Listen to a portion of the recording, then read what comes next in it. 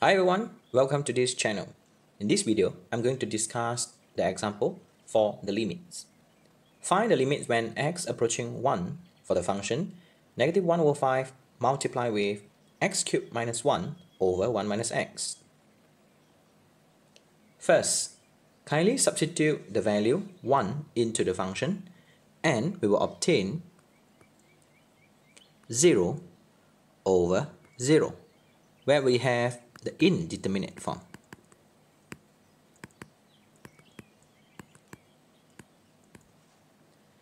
So in order to solve this kind of situation, there are three types of strategy that we can use. Number one, multiply with the conjugate. Number two, factorize the situation. Number three, long division. So for this kind of question, my suggestion would be long division. So now, kindly focus on the situation. Here we will have the x to the power of 3 minus 1.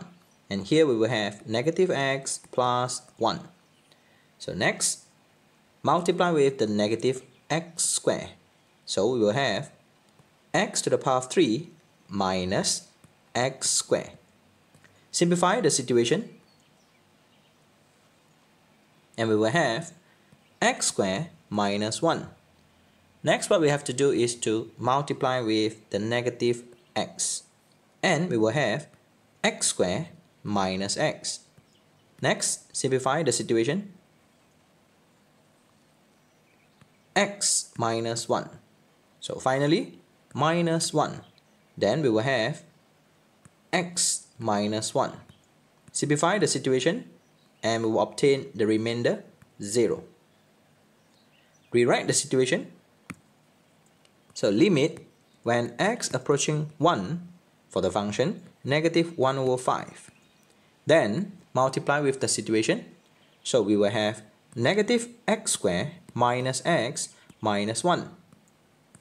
Multiply with 1 minus x over 1 minus x. So if we notice that there are common terms, then we can simplify the situation limits when x approaching 1 for the function negative 1 over 5 multiply with negative x squared negative x negative 1. Rewrite the situation.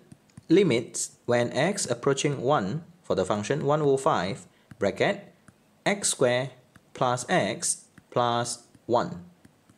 Then substitute the value 1 into the function where we will have 1 plus with then 1 and plus 1 so we will have 3 so finally the value will be approaching 3 over 5 if you are new here kindly consider subscribing to this channel and share this video to your friend.